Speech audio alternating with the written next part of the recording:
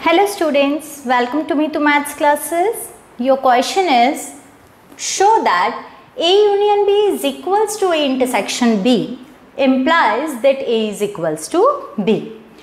Now to show that the two sets are equal, we are going to prove that A is contained, A is a subset of B and B is a subset of A and that must that will imply that the two sets are equal.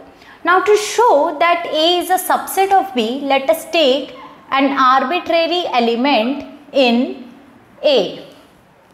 Now let X belongs to A and A is a subset of A union B. A union B आपका एक superset है A का. So that will imply that X belongs to A union B. Now, A, you are given that A union B is equals to A intersection B. That, that will imply that X belongs to A intersection B. और अगर X A और B के intersection में आ रहा है that must imply that X belongs to A and X belongs to B.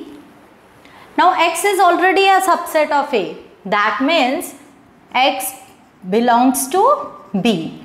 So X belongs to A implies that X belongs to B. This implies that A is a subset of B. Let us take this as first statement. Now let Y is an arbitrary element in B.